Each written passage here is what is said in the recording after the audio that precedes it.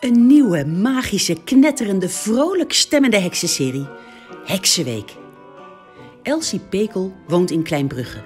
Een stadje dat klein is, een brug heeft en vooral heel gemoedelijk is. Vreselijk saai dus.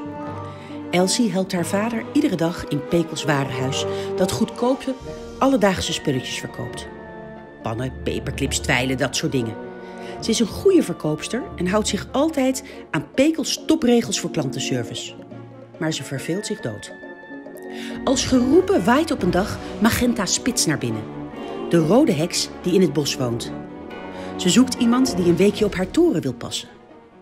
Dat laat Elsie zich natuurlijk geen twee keer vragen.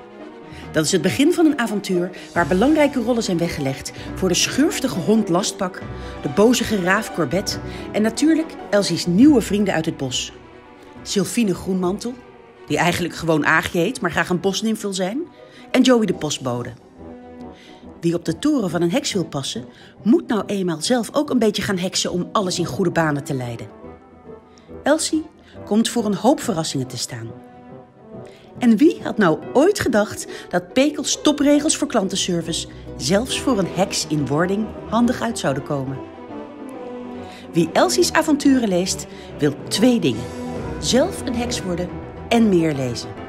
Het eerste zul je echt zelf moeten doen, maar er volgen zeker nog drie avonturen over Elsie, Magenta en hun bijzondere vrienden.